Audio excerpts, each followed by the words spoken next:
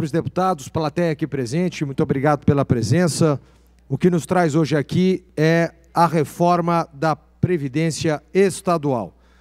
Realmente o texto, como vem, não atende aos anseios da população e nos parece bastante injusto. Eu tenho me destacado na casa por abordagens técnicas, então convoquei um corpo de juristas e técnicos em previdência para que fizesse uma análise do que foi proposto.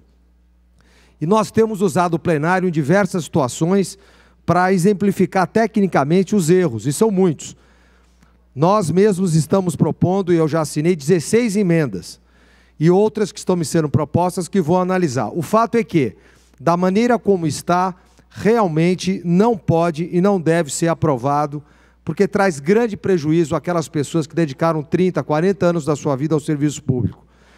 Parece que o governo quer resolver um problema, mas não está olhando que vai gerar outros problemas. Então eu preparei uma apresentação é, que eu vou procurar ser bastante rápida e, e didática. Você pode voltar à primeira transparência? Então nós estamos falando aqui da reforma estadual da Previdência. O, o Pacto Federativo Brasileiro, ele prevê que a União seja responsável por alguns segmentos da Previdência e que os estados sejam responsáveis pelos seus funcionários estaduais, assim como os municípios pelos seus municipais. Então nós temos, na verdade, uma regra da União que já foi aprovada e coube aos estados e municípios, dentro da sua esfera, legislar sobre as suas aposentadorias eh, estaduais e municipais. E nós estamos falando aqui de duas leis, esse slide não está presente, que é um projeto de emenda constitucional 18/2019 do governador que modifica o regime próprio de previdência dos servidores públicos titulares de cargos efetivos do Estado e outras providências. Então anotem esse nome, a PEC 18/2019. E outra é o projeto de lei complementar 80/2019, também do governador, que dispõe sobre as aposentadorias e pensões do regime próprio da Previdência dos servidores públicos ocupantes de cargo de provimento efetivo, nos termos do artigo 126 da Constituição do Estado. Ou seja, é a PEC 18 e a PLC 80 que tem uma série de incoerências. Por exemplo, para os policiais militares, conforme a PLC 80, os policiais da ativa e da reserva são afetados diretamente com o aumento da alíquota para 14%. Enquanto não sobrevier lei federal específica sobre a matéria, aplica-se aos militares. Ou seja, aqui já há uma incoerência, uma pegadinha que precisa de uma atenção. Próximo slide, por favor, senão não vai dar tempo. Ah, exemplos de incongruência com texto constitucional federal. Conforme a PLC 80, os Aliás, o artigo 3 da PEC não corresponde ao contido no mesmo artigo da Emenda Constitucional Federal 103 para o direito adquirido, pois a parte final do dispositivo da PEC estadual permite sua alteração. Ou seja, aqui é outra pegadinha que prejudica o funcionário público. Próximo. Aqui, uma comparação entre a Emenda Constitucional Federal e a emenda constitucional estadual.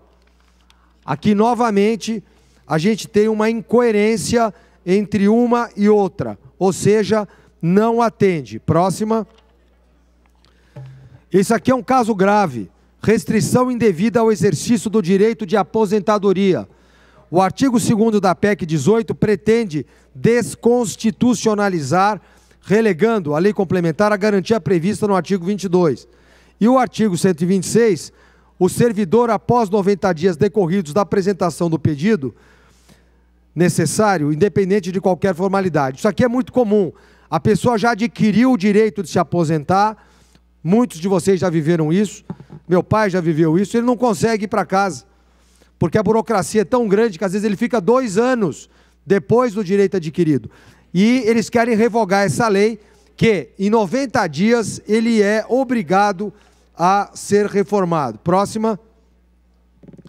Na nossa maneira de entender, essa revogação é um retrocesso às garantias do servidor. Deu muito trabalho para provar isso no passado e realmente não cabe. Próximo. indevida necessidade de tempo mínimo no nível ou na classe. Mais um minuto só, presidente.